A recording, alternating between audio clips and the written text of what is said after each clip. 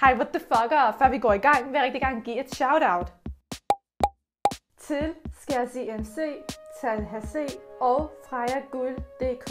Og så et shout-out til Mads Emilas. Tusind tak for din søde besked på Instagram. Hvis I gerne vil have et shout-out, så find til Maria i den her video. Okay, lad os bare komme i gang. Hej, what the fucker? Den 6. maj 1937 eksploderede den enorme luftskib Hindenburg i en voldsom brand under en landing ved Lakehurst i New Jersey i USA. Den var nærmest dækket af en masse røg og ild, og det massive luftskib faldt helt ned på jorden. Nogle passagerer og besætningsmedlemmer hoppede ud af den for at søge ly. Luftskibet blev til aske på få minutter, men desværre var der andre, der omkom ved brand. I alt var der 97 passagerer ombord, og kun 62 mennesker overlevede. Så hvad skete der? Lad os undersøge det sammen.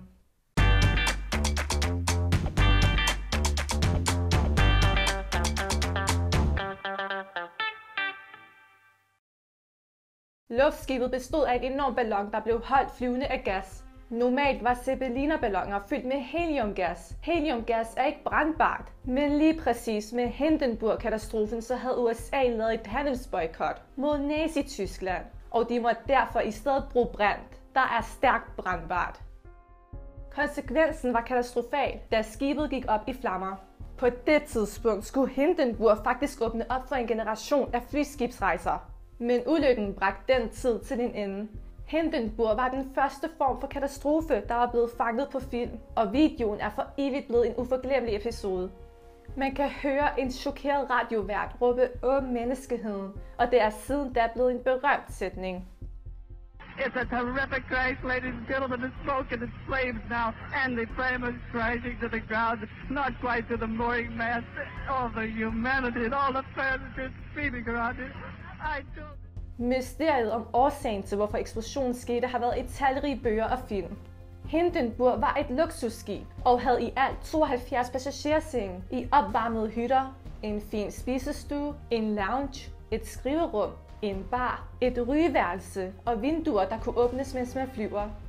Selv møblerne blev designet ved hjælp af letvægtsaluminium. aluminium, og med hensyn til rygerummet, så blev der truffet særlige forholdsregler for at sikre, at rygerummet var sikkert. Herunder et dobbeltdør for at holde brand fra at komme ind. Hindenburg blev opkaldt efter den tidligere præsident Paul von Hindenburg. Luftskibet tog sin første rejse i marts 1936 og fløj 63 gange, primært fra Tyskland til Nord- og Sydamerika. Zeppeliner og luftballoner for den sags skyld holder sig typisk højt gennem en gas, såsom helium, hydrogen eller varm luft. Zeppeliner, herunder Hindenburg, har stive rammer konstrueret af ringe. Hindenburg var bredere end andre luftskibe, hvilket gjorde det mere stabilt. Hindenburg blev designet til at blive fyldt med helium, hvilket var kendt for at være sikrere end hydrogen, fordi det ikke var brandfarligt. Og USA havde en lov dengang, der forbød eksport af helium. En myte er, at Hindenburg ikke havde helium, fordi USA ikke ville sælge det til nazisterne. Den myte har vist sig ikke at være sandt. Forbuddet blev vedtaget seks år før nazisterne tog magten. På sin sidste rejse fløj Hindenburg ud fra Frankfurt i Tyskland den 3. maj 1937. Men dårlig vejr ventede i New Jersey, for der var der enormt meget tordenvejr. Kaptajnen Max Pruss og andre højstående embedsmænd var ombord på Hindenburg, og de anmodede om at forsinke landingen yderligere og fløj skibet rundt i en cirkel, indtil vejrforholdene blev bedre. Hindenburg var omkring 180 meter op i luften, og efter et par minutter begyndte skibet at ryste. Klokken 7.25 gik den op i flammer, og det endte med, at luftskibet styrtede ned i flammer. Det tog i alt kun 34 sekunder at brænde. De fleste mennesker på skibet kunne hoppe ud og søge ly, mens andre passagerer i deres hytter døde.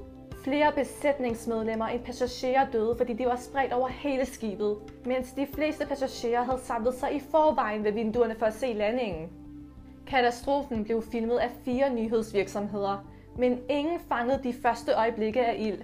Mange journalister og kameramænd havde samlet sig, da skibet skulle lande, fordi der også var kendte mennesker, der fløj på det. Tusindvis af mennesker kom for at se landingen.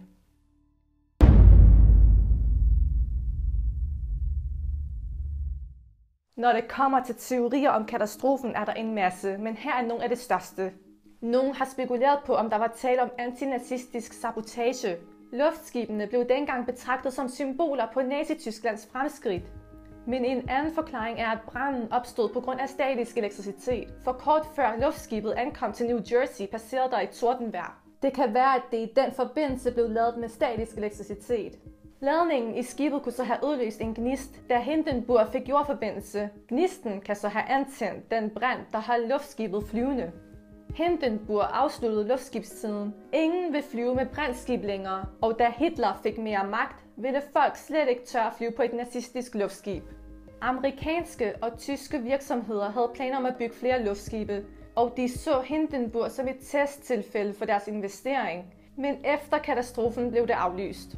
Udover katastrofen, så var Hindenburg en fantastisk teknisk præstation i 1928. Men man skal ikke glemme, der allerede fandtes fly dengang, der kunne flyve hurtigere, bære så meget mere og flyve billigere, med færre passagerer, og som var bedre på alle måder end Hindenburg. Så det vil sige, selv hvis Hindenburg ikke var blevet brændt, ville det have været forældet med fly. Hvorfor tror du, vi er så besatte af Hindenburg-katastrofen? Læg dit svar i kommentarfeltet. Tak fordi du så med.